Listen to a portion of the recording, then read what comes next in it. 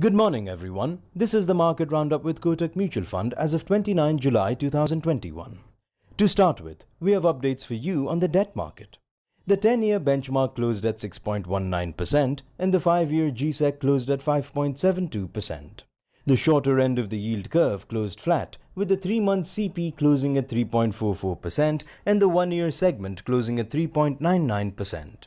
The longer end of the yield curve also closed flat, with the 3-year AAA segment closing at 5.25% and the 5-year segment closing at 6.08%. LAF closed at 4.71 lakh crore rupees. Moving on to updates on the equity market.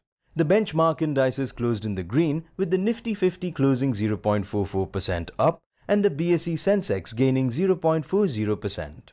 In the broader market, the mid-cap index gained 0.72% and the small-cap index closed 0.91% up. In the sectoral indices, Nifty FMCG lost 1.02% while Nifty Metal gained 5.02%.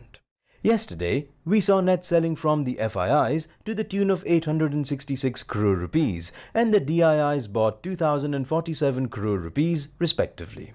In currency update, Yesterday, the rupee appreciated by 9 paise to close at 74.29 against the US dollar. In commodity update, gold was trading at 1831 US dollars per ounce and WTI crude was trading at 73.05 US dollars per barrel. That's it for the day. Thank you for listening and have a safe day ahead. For regular updates, please subscribe to our social media pages. Mutual fund investments are subject to market risks. Read all scheme related documents carefully.